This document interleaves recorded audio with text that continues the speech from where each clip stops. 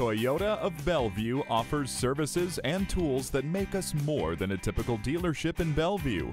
All of our salespeople are complete experts on everything Toyota.